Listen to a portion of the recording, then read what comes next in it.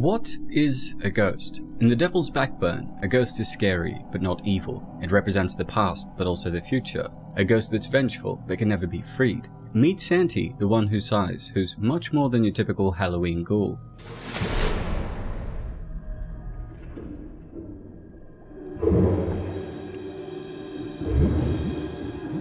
Before Pan's Labyrinth, Hellboy, and Pacific Rim, Guillermo del Toro made this modern masterpiece where he could truly flex his creative muscles and work with both a sizable budget and full creative freedom. Me gusta el melodrama, me gusta que la gente reconozca los sentimientos, pero que los encuentre en un estado más puro de lo que los encuentra en la, vida diaria. Del Toro's filmmaking career began rather oddly. His first feature, Cronos, swept critics away when it was released in 1993. He was then quickly offered the opportunity to work on a big budget Hollywood film, Mimic, and went to America. As we discussed on my video on Mimic, links in the description below, it was a horrendous experience for the director. Infamously, Miramax interfered with his creative process, and Bob Weinstein in particular wreaked havoc on the set, not allowing Del Toro to do his job. After this experience, Del Toro understandably needed a refresher. He needed to get back to his roots and wanted to make a movie in his native language with full creative freedom, so he turned to an old treatment he wrote in the 80s for his screenwriting thesis. Terminé un tratamiento, pero nunca me gustó.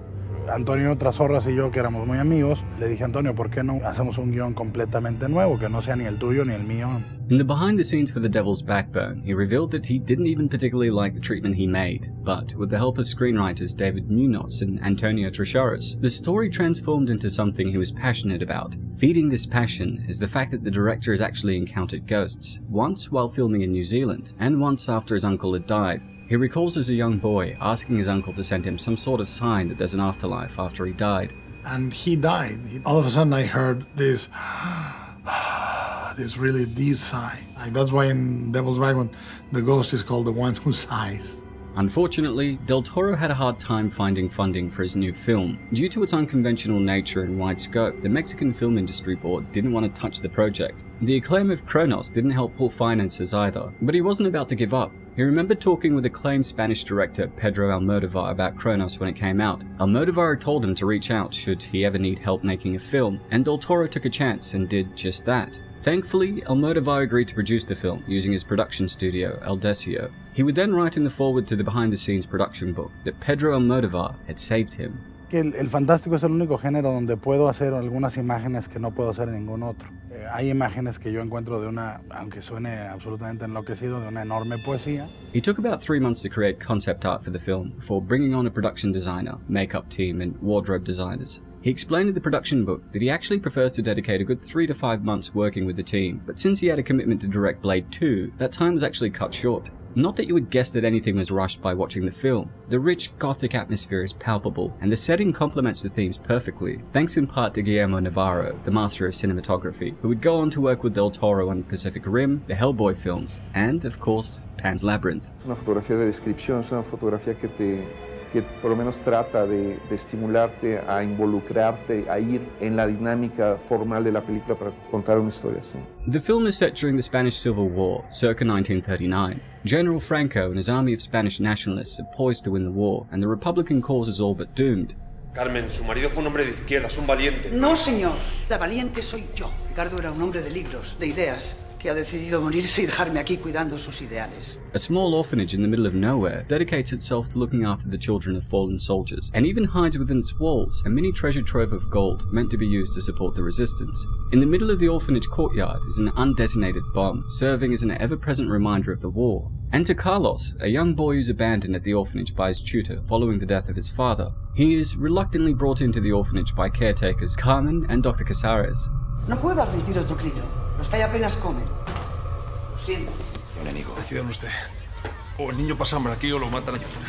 It doesn't take long before Carlos is bullied by fellow orphan Jamie. His discomfort is furthered when he learns that his bed once belonged to the dead boy named Santi, who appears at Carlos's bedside and haunts him incessantly.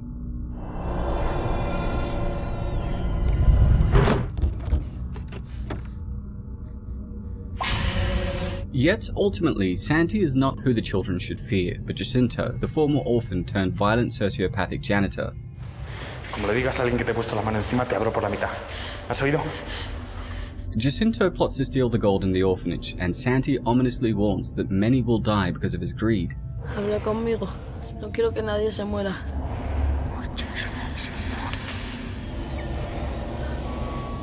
In order to survive, Carlos and the others must learn the secret of Santi's death and piece together the truth about the doomed situation they find themselves in. ¿Usted cree fantasmas? Soy un hombre de ciencia. En este país ha habido siempre mucha superchería. Ven, ven. The pacing is excellent. The story unfolds naturalistically in a creeping way, and it never relies on jump scares. The atmosphere is perfect, and the muted color palette helps add to its Spanish Gothic aesthetic. The film is very dense and filled with symbolism, the most obvious is the bomb, but there's also the way ghosts serve to represent tragedy and how tragedies are doomed to repeat themselves. Del Toro also infuses an interesting discussion on the ghost-like qualities of memory and the ways that memory of the past can influence the future. ¿Qué es un fantasma? Un evento terrible condenado a repetirse una y otra vez. The title of the film refers to the devil's backbone, a birth defect held by children who were never meant to be born. These unborn find new purpose by becoming immersed in limbo juice, which the orphanage then sells to superstitious villagers. ¿Se lo toman? Eh, Dicen que ayuda a curar la ceguera, las enfermedades del riñón. The image of an unborn child floating in amber is rife with thematic resonance, serving to reinforce how the dead still provide meaning to the living, how the magical pervades real life, and the ways that the living can place a little too much faith in the past and the dead while ignoring the practicalities of the present. Despite the layers of symbolism, the movie never feels confusing or inaccessible. One of the beauties of Del Toro's filmmaking style is that it creates genre films that feel elevated from your standard fare. It's this unique style that makes it difficult for him to market many of his films or receive funding, since it's hard to fit his stories in one distinct category. But once he's able to bring his visions to life, the result is a perfect blend of classic filmmaking, Spanish magical realism, and a dash of art house. The characters are fantastic, and the children impressively manage to carry a movie with naturalistic performances. Marisa Paredes, who worked with Almodovar in films like All About My Mother and The Skin I Live In, is excellent as Carmen. Her chemistry with Federico Luppi's Dr. Casares is subtle and heartbreaking.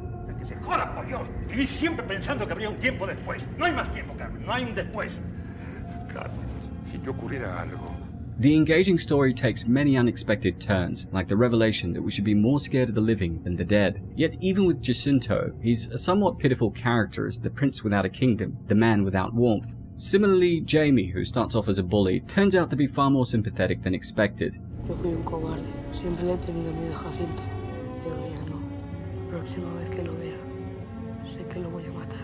The beginning of the movie sets him up to seem like he's killed Santi, and this red herring adds to the mystery of the orphanage. It is, and it isn't really a story about a ghost. Instead, Santi is merely one element that adds a touch of fantasy to this harsh world of war, evil, and unrealized potential. A lesser film might have leaned in too far into the ghost special effects or put too much time into crafting cheap scares with its specters. Instead, The Devil's Backbone lets its haunting nature unfold slowly and subtly, resulting in a much more discomforting film.